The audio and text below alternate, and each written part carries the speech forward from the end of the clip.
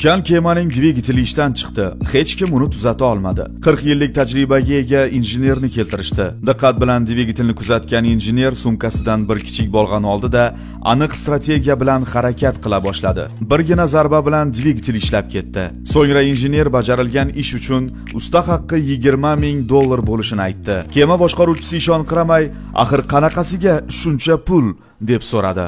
Injener javob berdi. Bolg'aning bir zarbi 2 dollar.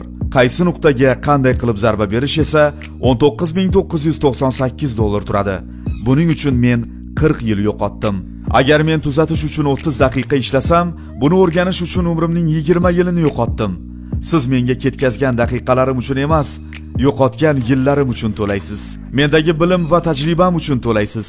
Og'ir mehnatning natijasi uchun to'laysiz. Yillar davomida tortilgan asablar va uyqusiz tunlar uchun to'laysiz. Shunday ekan, mehnatingizni arzon sotmang.